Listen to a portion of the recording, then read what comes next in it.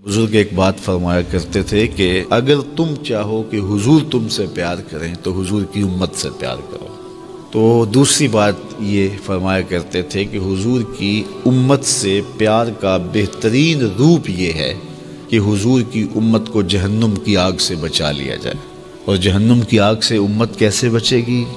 उनके अकायद अच्छे हों, उनके अमल सुथरे हों, वो अखलाकी अकदार के हामिल हों वो सोचों की पाकिजगी से माला माल हों, वो अपने हमसायों के साथ अच्छा सलूक करने वाले हों, वो दोस्तियों के हक़ को जानते हों।